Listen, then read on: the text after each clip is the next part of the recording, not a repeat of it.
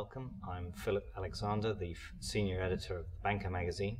I'm here in the headquarters of the European Bank for Reconstruction and Development, ahead of the EBRD's annual meetings, which will be in Istanbul in Turkey. Uh, and with me is Erik Berglof, the chief economist of the EBRD, to talk about the priorities for policymakers to maintain a healthy banking system in Central and Eastern Europe. Erik, uh, about a year ago or more, uh, there was concern that the crisis in the Eurozone might cause a, a, credit squeeze in Central and Eastern Europe, especially the countries where Western European banks had a significant presence. Have those concerns eased now, or are there still signs that credit conditions are constrained in the region? We, we definitely had a, a credit squeeze, in particularly in the second half of 2011.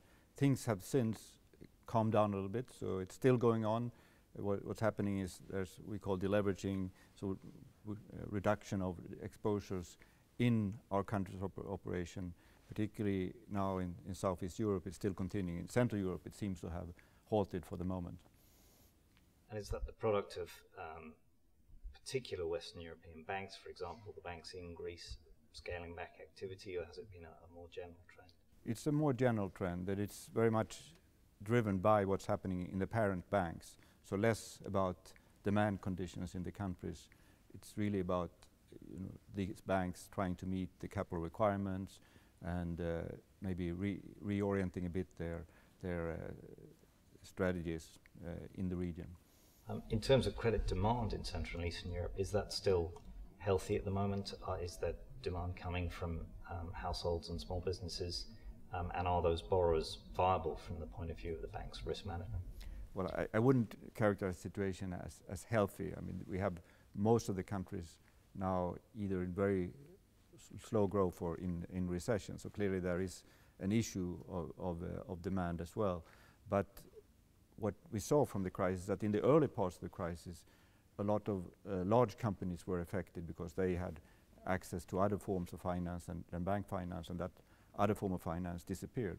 What we see now at, at the later part of the crisis is that small and medium-sized companies are being affected very much because they depend so much on, on banks. And of course, they also are some of the more risky uh, forms of lending for the banks. So clearly they are suffering at the moment. So I think there is a need to also help uh, these uh, small and medium-sized companies get access to, to credit and, and encourage banks. And here again, I think the international financial institutions and the EBRD can help to uh, foster that that type of, of, of lending and maybe be part of sharing some of the risks involved.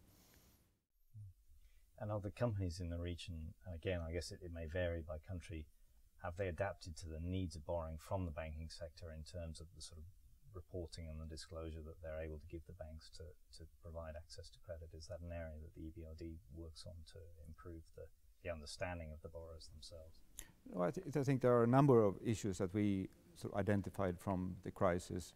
One was, of course, these very large exposures in, in foreign exchange, uh, in, in, foreign currency.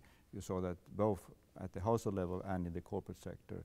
And that's definitely something we are trying to do something about. It, you know, it's not something you can do in any individual transaction. You need to, to work on the whole uh, financial system of these countries, trying to help develop alternative sources from bank funding. I think we are facing an immediate future with you know, less bank funding available, and we need to, to find uh, alternative measures uh, to, to find uh, funding.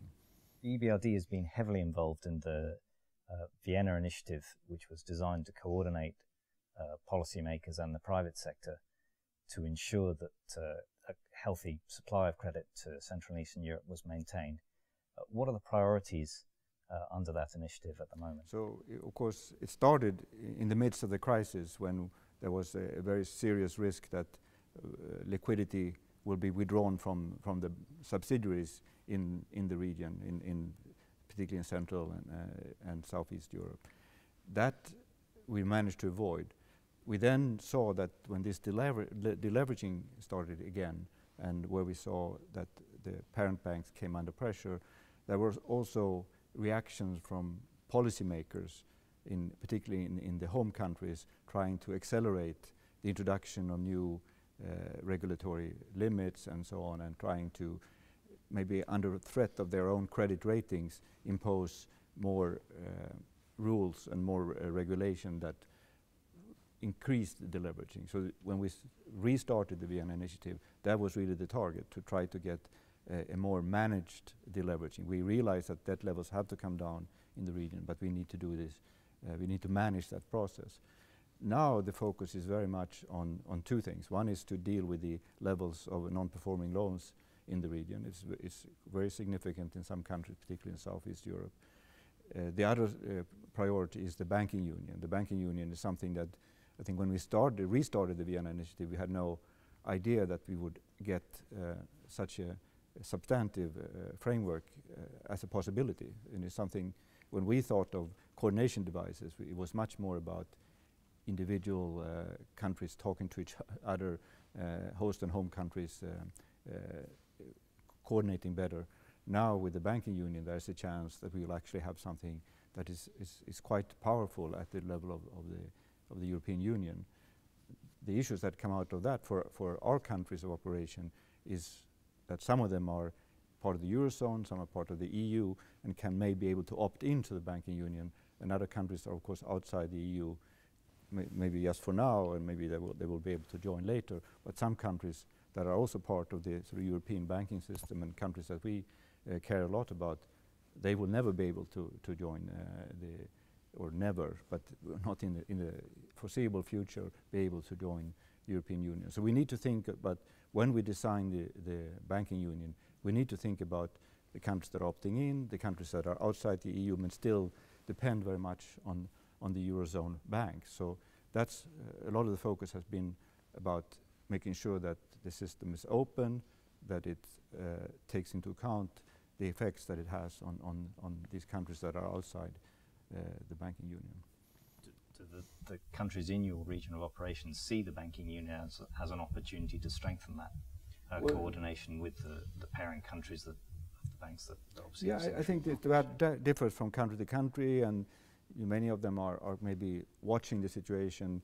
It's not so attractive to maybe join right now because there are still some what we call legacy issues, you know, debt that's been built up in the past that you may, you know, be forced to be part of, of, of sharing that burden now, and it's not so attractive, of course, for a country to, to join.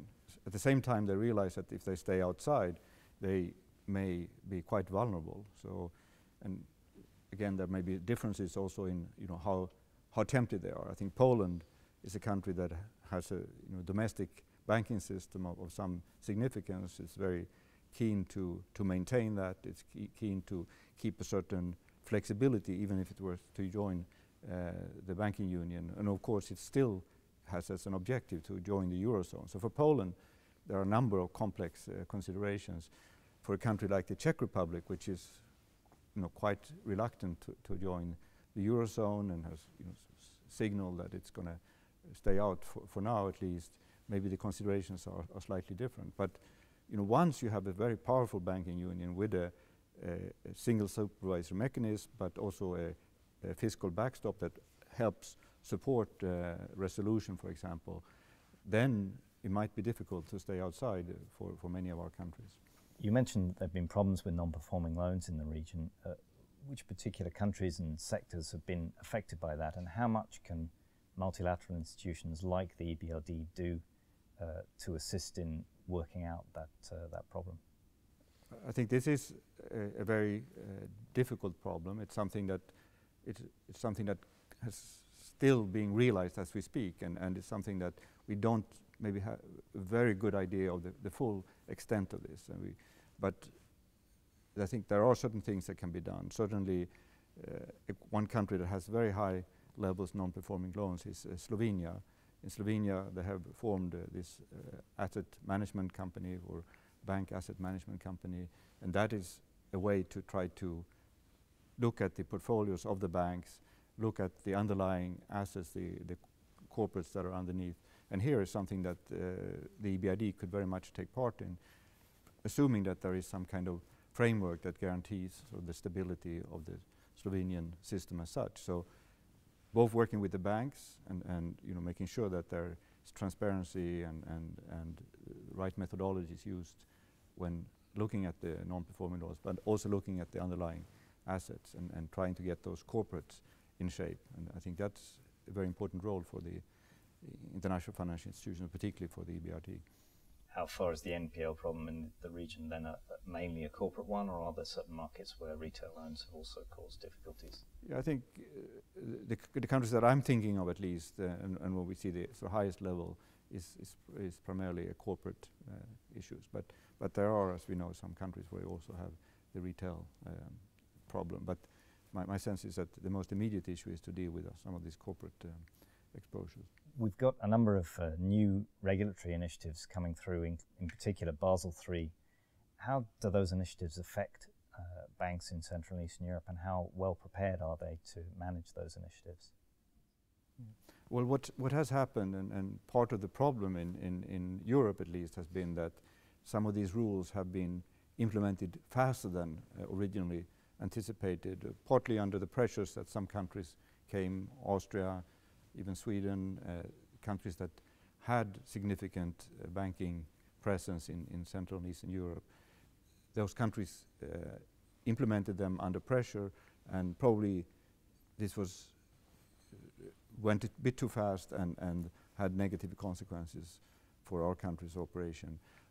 I think when you look at emerging Europe as a whole and maybe even globally, the concern is that some of the measures that are being implemented are not so well suited for, for those countries. So countries that have less developed capital markets, particularly some of these liquidity measures that are being used, those could actually harm capital market development. So that's something that we are quite concerned about. I think when it comes to the capital requirement as such, yes, it will may be difficult in some uh, individual banks, and of course there will be a major stress test necessary before the banking union comes into effect. So that in that process we may see some problems on, on that side. But I, I, I see that as less problematic for, at least for the, the banks that operate in our region.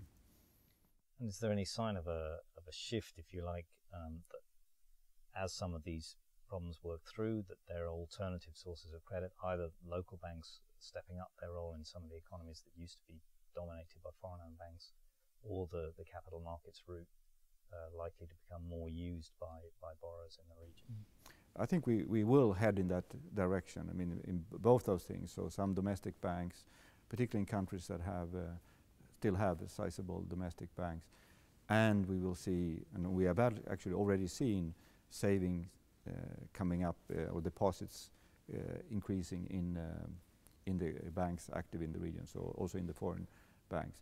I think there are limits to how far that can go, but it's certainly something that we, we want to encourage at the end of the day that we have to remember that we want capital to flow from Western Europe to, to Central Europe and to Eastern Europe and, and uh, of course also Southeast Europe. So we don't want, we want to find the best way, the most stable uh, way to transfer those capital uh, flows. And that possibly, or most probably, we're looking back at experience, after all, is the cross-border banking.